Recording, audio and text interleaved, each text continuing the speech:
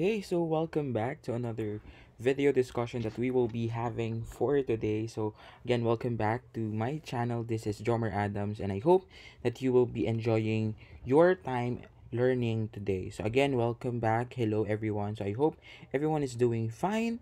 So let's start and let's dig into our topic for today.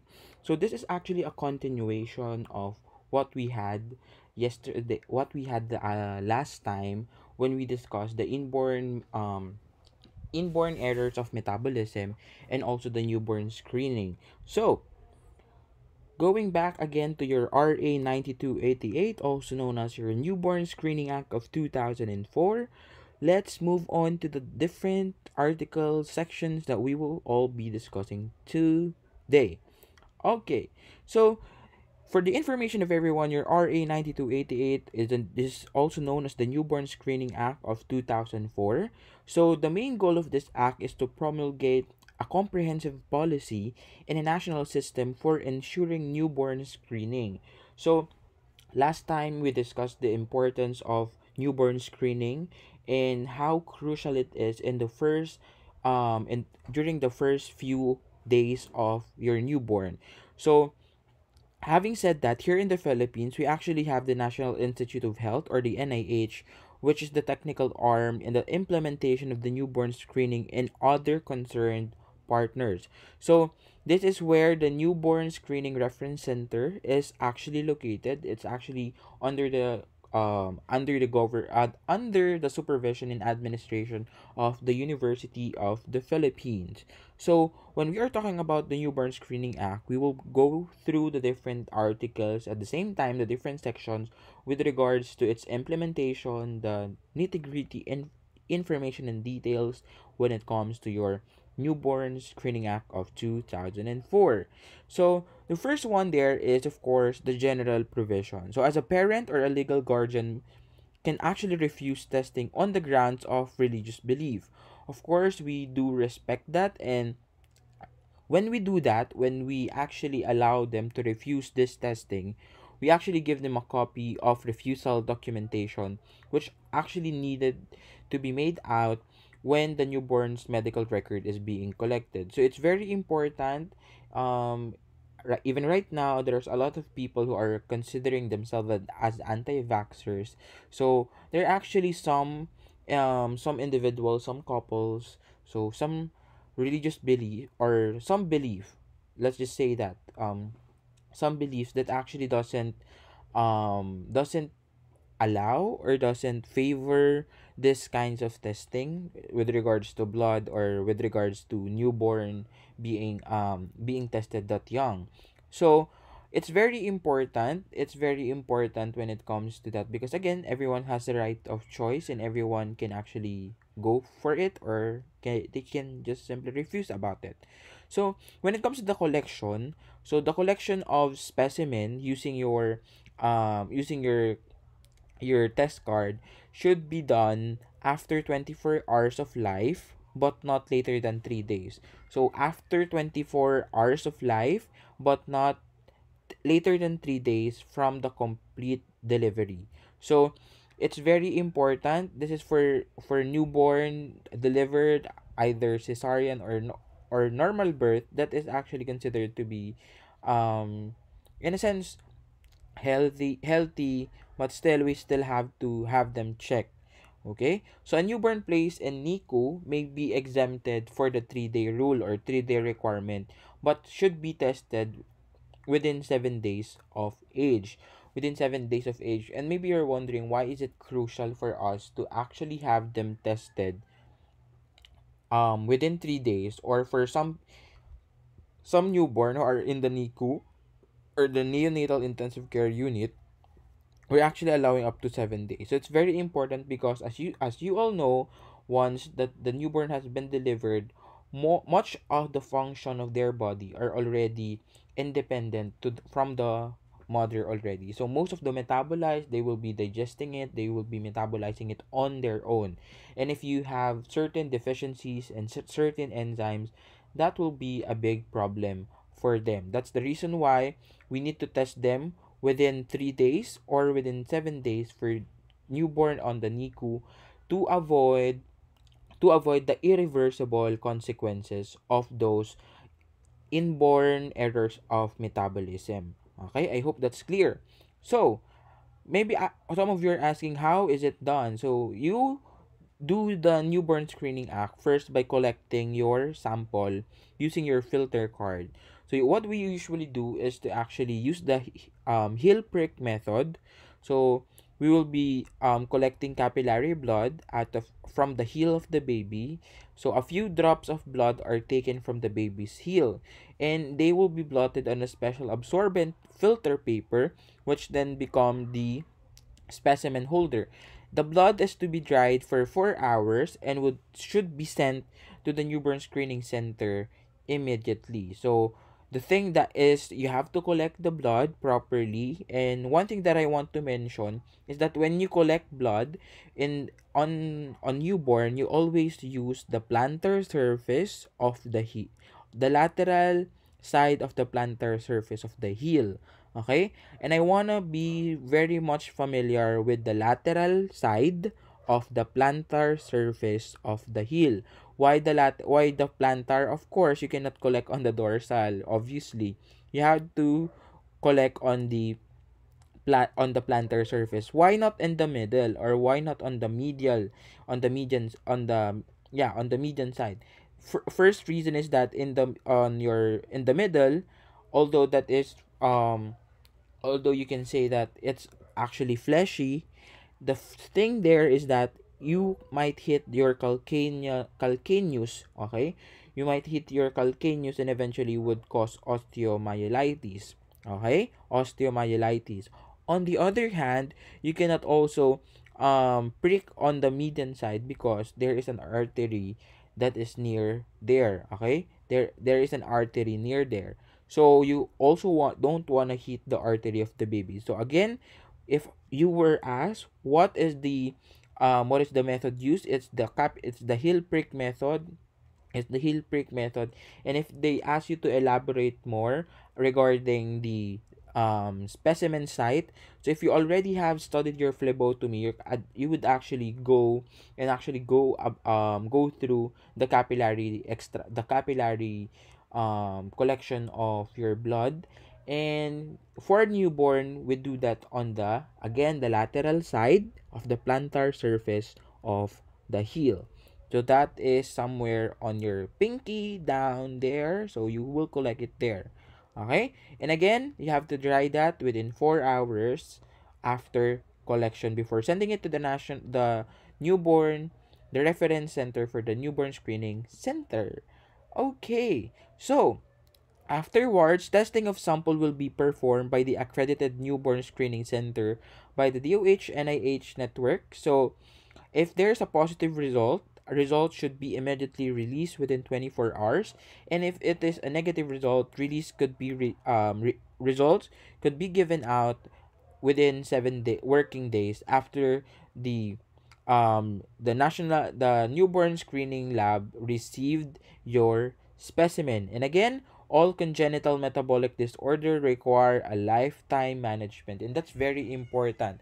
That's the reason why we want to we want to identify it early because some of the irreversible um, consequences of your inborn errors of metabolism will not just be mental retardation but also death for the baby. So again i hope everything is clear and i hope you will be going through it for you to understand it better. Okay, so this is actually some of the, again, we talk about it, your congenital hypothyroidism, your congenital adrenal hyperplasia, your galactosemia, your phenylketonuria, your G6PD deficiency, or your glucose 6, um, your, your G6PD, your maple syrup urine disease as well, and the different effects and effects if not screened and effect if screened and managed properly. So it's very important for us to to really take note of these things because it's crucial for your baby. So for the effects if not screened as you can see most of them are actually severe mental retardation. You would have death here for congenital hyperplasia. For the galactosemia the baby can actually um immediately die or develop cataract again because of the deposition of your galactose on your brain, on your liver, or even into your eyes. Your phenylketonuria could also cause severe mental retardation. For your G6PD, like what I mentioned a while back, um, in the last video, I will link it also here.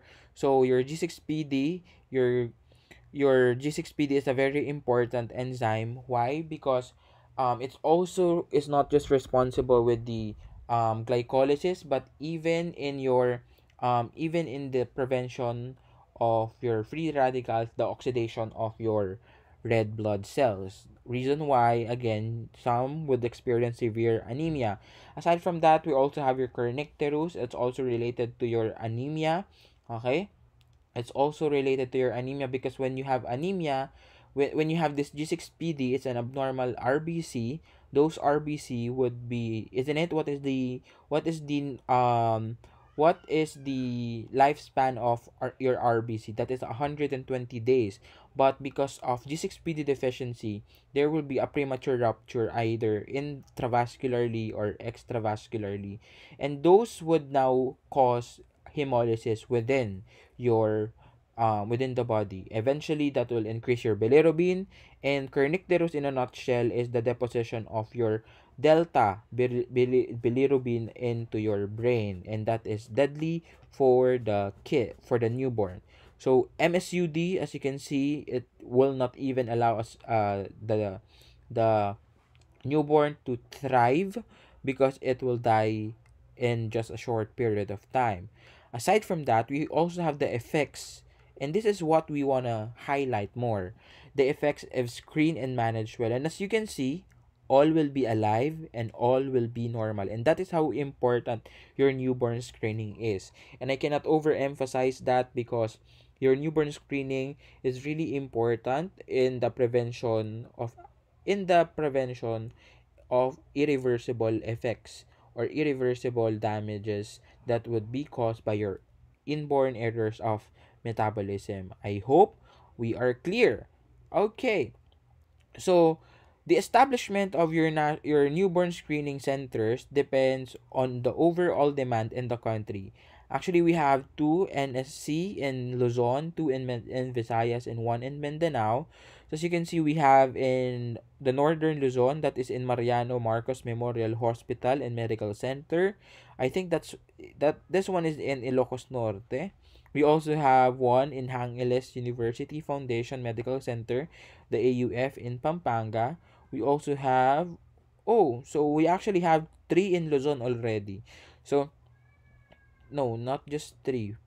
So this is the one the, the picture I'm showing is actually a more updated um picture. So we also have the um NIH in your by your by UP Manila and it is in Techno Hub UP Ayala Land.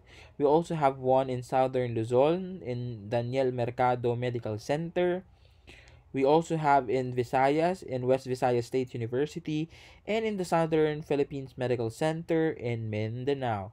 So, that is very important. As you can see there there um if you're going to look at the the bullets that we have here, we also have future newborn screening centers. One would also be um in Mindanao, an additional in Mindanao, one also in your um maybe this one is in Cebu and this one is in somewhere in Albay. So that is where um the future newborn screening centers will be established. And it is again um very important to have this in our places. So aside from that, we also have the declaration of policy. So the state in section 2 it states that the state shall protect and promote the right of health of the people, including the rights of the children, to survival and full healthy development as normal individuals. So, the state shall institutionalize a national newborn screening system that is first comprehensive, integrative, and sustainable. So, as you can see, um, as our population grows, the need or the, the, the demand of your newborn screening test would also increase. Therefore, we also have to um, enhance and heighten up our um, heightened our newborn screening centers as well. And these are the these are some of the policies that we have to observe. So, let's go on to section 3 and discuss about the objectives of this law. First is to ensure that newborn has access to newborn screening for certain heritable dis- conditions that can result in mental retardation, serious health complications, or even death, death if left undetected and untreated. Aside from that, we also have to establish um, and integrate a sustainable newborn screening system within the public health delivery system. So, as you can see, when we first discuss your newborn screening, it's actually a public health concern. Okay, it's a public health concern. Reason why we also have we also need to have a sustainable newborn screening system because as again saying again uh, repeating it again as our population grows so is our um, need for a newborn screening center. So we also aim to ensure that all he- health practitioners are aware of the advantages of newborn screening and of their respective responsibilities in offering newborns the opportunity to undergo newborn screening. And of course, again, maybe this is one good um, time to mention this. As health practitioner and for you as if you're watching this and you're a student in the medical field, med whether it is in your pre-med or in your medicine, it's very important for you to be um promoters or promoters of different programs that would actually better the lives of our patients, of our um, fellow men, because as you can see, a lot of these things are actually very much preventable. Okay? A lot of these things are very much preventable. But again, that Filipino mentality that they don't want to go and have themselves tested or they don't want to have their children tested because it's it's um expensive this is that and that but if you're gonna think about it the for the information of everyone i'll be showing you later the prices of our newborn screening. And it actually ranges from 500 to 1500 from the basic with the 6 and also the expanded. So i'm already spelling out the update that we have. From 6 we already are testing or catering tests for around 22 um, inborn errors of metabolism. And imagine that from 500 to 1500 you can actually save your child's life. And you have we as health practitioners need to promote that. Okay? So what do we aim at aside from those things? So we also want to ensure that parents recognize their responsibility in promoting their children's right to health and full development within the context of responsible parenthood by protecting their child from preventable causes of disability and death through newborn screening. Imagine that okay? And this is one great thing okay preventable causes of disability and as a parent i know that most of our parents would do anything to to spare us from those disabilities and even spare us from death. And we really have to educate our fellow men with regards to these things because if you're gonna look at it, isn't it? If you're gonna look at it, when you hear of G6PD deficiency, if you hear about congenital um, hypothyroidism, congenital adrenal adrenal hyper hypoplasia, mo- most of the Filipinos won't immediately identify those diseases. What we know are ubo, sipon, diabetes, high blood, and so many more. That's why we have to educate and inform all of them. Okay? So, as so as we go along, uh, we'll be defining some key um, terms that is very important for us to comprehend the newborn screening law better. And let's go to the first one, which is the comprehensive newborn screening system. So, education of relevant stakeholders is very important. This is a collection. So, when you say comprehensive newborn screening, we're not, we're not just talking about the newborn screening test, but the system itself. So, we have to educate the relevant stakeholders from the family, from the basic unit of the society, the up to the government. We have to educate them. And perhaps with what's happening right now. So i'm filming i'm filming this video right now what that we are in the enhanced community quarantine. And maybe when you look back after years from now and look at this video and listen to this video um, maybe some of us would actually agree that a lot of us now in the, in this pandemic is unprepared because we're uneducated about a lot of things with regards to public health concerns from to virology and even physical and health hygiene. Okay? So humuhugot na naman tuloy ako. So aside from that we also um talk about the collection and biochemical screening of the blood and this is done by a medical technologist by the way medical laboratory scientist. So shout out to all of um, my kapatid all over the world. So track aside from that we also have to track and confirm the test. So when we discussed this um the basic the six air inborn errors of metabolism we actually did some screening and confirmatory tests so we have to track that so that we could also monitor those with the disease. Again, we are collecting it for the mortality and morbidity records. So again, clinical evaluation and biochemical and medical confirmation of the test results is very important. Drugs and medical and even surgical management and dietary supplementation to address the heritable condition is also under the comprehensive newborn screening. And this is very good. Okay? Um hindi ito yung kapag nalaman niya, iiwan ka na lang niya bigla. Ah, may hugot. What? Not that's not the case. So what we're talking about here is that even the government would actually support or even do its job in helping families with um this condition. Take for example, nala take for example your RA 8504, your um our AIDS law. Okay? Our AIDS law that even though um after being confirmed with HIV, okay, so the government also provide aid to our um, patients as well. So aside from that, you also have to evaluate the activities to assess long-term outcomes and patient outcome and of course quality assurance. And that's very important. And again i cannot overemphasize quality assurance. And i know you're too familiar or sabi na natin malapit na kayong manawa sa quality assurance. But that's very important even in this part.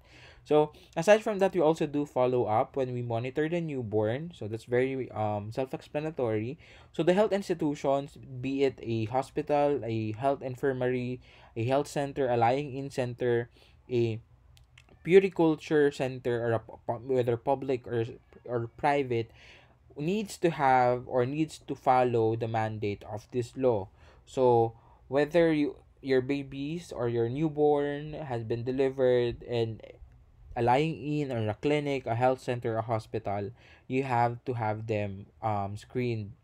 So take for example, what if your your baby was um delivered at home and you and your midwife doesn't have those tests. Again, you go back to the ano, you go back to the the the guidelines for as long as um, you take your baby within 3 days, that's the allowable delay. Okay? 3 3 days. This is the reason why even if most par most mothers eh, take for example in provinces in rural area even if they actually deliver their um, babies at home eventually they will be advised to visit a doctor immediately okay so what else do we have? We also have the healthcare practitioners. So we have the physician, the nurses, the midwives, the nurse nursing aides, the traditional birth attendants, and of course, let's not forget the medical laboratory scientists. Baka magtampo. So, heritable condition, we talk about condition that can result in mental retardation, physical deformity, or even death. So it can either be due to mutation, due to um traits or recessive or dominant traits that have been expressed in your infant. Okay. So the NIH stand for stands for National Institute of Health. Again, that is under the UP Manila University of the Philippines, Manila. So aside from that, we also have newborn, meaning when we say newborn, this is a child from the time of a complete delivery to 30 years old. So newborn under one month. Okay, so newborn screening again is the process of collecting a few drops of blood from the newborn onto an appropriate collection card, which is your absorbent filter card, and performing biochemical testing for determining if the newborn has a heritable condition. So either of the six. And of course, the newborn screening center um, is the facility equipped with a newborn screening laboratory that complies with the standards, whether it be it in the screening and even in the confirmatory. And of course, we have the Newborn Screening Reference Center. This is the central facility at the NIH that defines testing and follow-up protocols, maintains and external laboratory proficiencies and national database. And this is the one located at the UP Ayala Techno Hub, the University of the Philippines, Manila, NIH. So go visit that. Okay. So again, it's very important to have parent education. Okay? So for us to provide the parents and legal guardians very vital information with regards to the newborn screening. Aside from that, we also do um, locating a newborn. We do recall, especially when they did not perform um, and newborn screening, or even if they did, we will still be monitoring them. So of course, we also have your treatment, and this is now the provision of a prompt, appropriate, and adequate medicine, medicinal, and surgical management of dietary prescription to a newborn for the purpose of treating or mitigating the adverse health consequence, consequences that, that might be experienced. So, for Article 3, this is now more about the newborn screening. So, again, for Section 8, continuing education and re-education and training health professional, as you can see, I am not going to read it anymore because I am uh, I'm not here to read it for you, but somehow to discuss it and to deepen the the discussion. So as you can see, if you can remember, in quality assurance, we have your internal and external quality assurance. And part of the external quality assurance is actually proficiency testing. And the one that does the proficiency testing is your personnel. Because in quality control, we do want to check three things the stability of your machine, the credibility or the quality of your reagent, and of course, the competence of your personnel. And one thing that, that we can do is to actually send them to continuing education, re education, and even training. So even after you graduate as medical technologists, as nurses, as physicians, the learning doesn't stop there. That's why I am actually a very um a very passionate a very passionate um um a very passionate um advocate when it comes to doing our um when promoting actually our learning even more. So you have to learn how to learn even more. So aside from that, we also have licensing and accreditation. So this talks about more about the licensing because not all hospitals are capable or are being mandated or being commissioned by the DOH and the NIH to perform your um, to perform your newborn screening. So the DOH and the Philippine Health Insurance Corporation shall require health institution to provide newborn screening services as a condition for licensure and accreditation. So most of the time they actually would collect it in most hospitals but they will not be the one to test it they will be sending it to the newborn screening centers that we mentioned a while back okay? So again how many how many hours would you wait before you send it? Five four three two one. The answer is four four hours. All right Okay, so for the implementation, the lead agency, of course, for this um, law is the Department of Health. So they are the one that will be establishing advisory com- advisory committee on the newborn screening. Aside from that, they will also be the one to develop the implementing rules and regulations for the immediate implementation of an, a nationwide newborn screening program within 108 days from the enactment of this act. They also are the one that will be coordinating with the Department of the Interior and Local Government or your DILG for the implementation of your national of your newborn screening programs all over the Philippines. And it's very important. Again, what we want is to prevent preventable diseases, diba? And I hope everyone um actually that is what they want as well. Okay. So the advisory committee, speaking of that, on our newborn screening, on the other hand, they their job is actually to ensure sustained interagency collaborations. As you can see, when we talk about a public health concern, it doesn't just concern hospital or laboratory. It concerns every stakeholder of the society, from the barangay, from the family, from the household, from the ev- even the the the barangay official, the government officials, and eventually all stakeholders of the um, community as well. So integral part of the office of the secretary of the DOH. So this is one integral um, job and part of the secretary of DOH. So they also are the one that review annual and recommend conditions to be included in the newborn screening panel of this order. So again, like what I was mentioning a while back, from six newborn eh, um from six conditions, we're actually up to 22 right now. I think 22 or 26, somewhere on that number. But I'll be giving that to you later on. So aside from that, they also are the one that review and recommends the newborn screening fee. So right now, um, the latest that was in their posting is actually 500 to 1,500 pesos. Somehow affordable pa. Okay? I'm actually thinking of an even uh, a, a more pricey um rate, but that's ha- that's the ano, that's their rate only. Okay. So for the advisory committee on newborn, we actually have the eight members.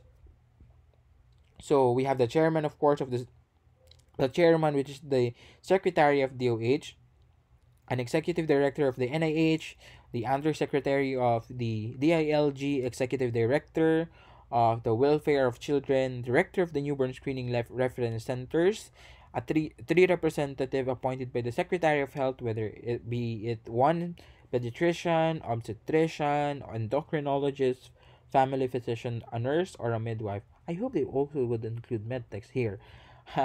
By the way, so they all have three years subject. Um, the terms will be three years subject to reappointment for another three years. And of course, we also have the NIH Secretariat Committee to complete the advisory committee on newborn screening. Okay, so for the establishment now and accreditation of newborn screening centers, every single national screening newborn screening centers are strategically located. So, well, when we were discussing the the map a while back, we have one in Ilocos Norte, one in Pampanga, one in South Luzon. We also have one here in Metro Manila. We also have one in Visayas and one in Mindanao. So all are strategically um placed so that every um everyone all around the Philippines would be catered with this service. So aside from that, we also recall and follow up programs for infants found positive for any and all of the inheritable conditions that they had. So they also would be supervising and um, staffing by trained personnel who have been duly qualified by the NIH and of course submit to periodic announced and unannounced inspection of the reference center. So yeah, that's true. Some are surprised, some are actually announced, and some are just, hey man, we're here, surprise, and we're gonna inspect your center. So so much about that. Let's go to the establishment now of a newborn screening reference center. It is the NIH that should be the one to establish the newborn screening reference center again, which is found in UP um, Techno Hub. So they actually have the national testing database, the case registries, training, technical assistance, and even continuing education for laboratory staff, isn't it? So it's the laboratory the laboratory staff who does that, but there I hope they would also be part of the advisory committee as well. Okay. Aside from that, we also have quality assurance, and again, it's very important. So the NIH is responsible for drafting and ensuring good laboratory practice standards for newborn screening centers. So if you're gonna ask me what is the reference um, laboratory for your um, newborn screening, um, for your newborn screening, it would actually be the na- the UPNIH, okay, the University of the Philippines National Institute of Health, because they are the one that performs or that um, gives proficiency or external quality assurance program for different institution. So they also are the one that establish an external laboratory proficiency testing, like what I was saying a while back, and certification program, and they are the principal repository of technical information relating to newborn screening standards and practices. Aside from that, the technical assistance is also provided by the NIH to newborn screening centers needing such assistance. Okay? So, this is actually the component of the Philippine newborn screening. We have the screening, we have the management, the diagnosis, and the follow up. And at the center, as you can see, how important quality assurance because again, if you're gonna look back with quality assurance, we talk about the confidence interval, we talk about the diagnostic efficiency, the diagnostic sensitivity, specificity, and maybe you're hearing false positive, false negative, and you know it better now, and you actually have would be able to explain why do we have false positive and why do we have false negative test results. So so much about that. Let's go to the database. So again, the database is being maintained by the NIH, the reference center for your newborn screening for your newborn screening. So NBS Reference Center shall maintain a national database of patient tested and registry of each of the six condition. Actually, the 22 conditions. So the na- newborn Screening reference centers should also submit a report annually to the committee, the advisory committee to be exact, and to the DOH on the status of unrele- of irrelevant information derived from the database. Okay, so for the newborn screening fees, I guess I am nearing the end of this discussion. We also have the testing costs, of course, the education, sample transport, follow-up costs, and reasonable overhead expenses for our um, for our um, patients. So the advisory committee is the one that will be assigning it. They will be the one as well to implement and make sure that there will be no overpricing of the newborn screening fee. Okay? So, so much about that. Let's have a quick summary. We actually have with your RA 9288 or the new um Newborn Screening Act of 2004, we have 19 sections compartmentalized into five different articles. The first one is about general provision, the definition of terms, the newborn screening, the implementation, and of course the final provision. This law was approved April 7, 2004 by the former president of the Philippines, um, former President Gloria Macapagal Arroyo. Okay, so I uh, let's go to the quick updates. So this is what I am talking about. So the DOH approves the expanded newborn. So from six, from the six congenital hypothyroidism, congenital adrenal hyperplasia, hyperplasia, so phenylketonuria, glucose 6 phosphate dehydrogenase, and your your galactosemia and your MSUD has been expanded. It will now include 22 more disorders. Now we include hema, um, hemoglobinopathies and other metabolic diseases as well. So, um, aside from that, um, we also have, ayan, it's here, some hemoglobinopathies, additional metabolic orders that in, that um, talks about organic acid, fatty acid oxidation, and amino acid disorder. So, as you can see, the first option is actually a screening of six disorders. The six that uh that was first mentioned in this discussion which actually cost 550 pala, 550 pesos or you can actually have it um for a full comp- uh, complement of this order at 1500 pesos. So at present, there's an ongoing discussion with PhilHealth to increase subsidy for expanded newborn screening. So, so from 6, we now have 22 tests, and that is a lot to, to tell you. But again, that is for, um, we're saying here, um, and we're saying here 22. Okay, 22 more. But in total, we have 28 disorders now. So that is where the 28 is coming from in my mind. So from 6, now we have 28 disorders being screened for our newborn. So I hope you did learn something. So if you haven't watched the first part of this video, please um, do check it. I will also try to give the link in the description box. So we are finished discussing the newborn screening, the inborn error of metabolism. We also have finished now the RA9288 and of course, we did some updates for our Newborn Screening Act of 2004 from 6 to 28 tests being performed. So, so much about that. Again, I leave you with this um, quote by Martin Luther King Jr. Again, intelligence plus character. That is the true goal of education. So, thank you so much. If you have any questions, please do leave a comment down below or email me on this email or send me an email. All right. So thank you so much. This has been Jomar Adams. So again, leaving you this, leaving you um tonight, leaving you today with my own sabihin na natin, my own saying, strive today, so tomorrow you will thrive. Thank you so much and have a great day.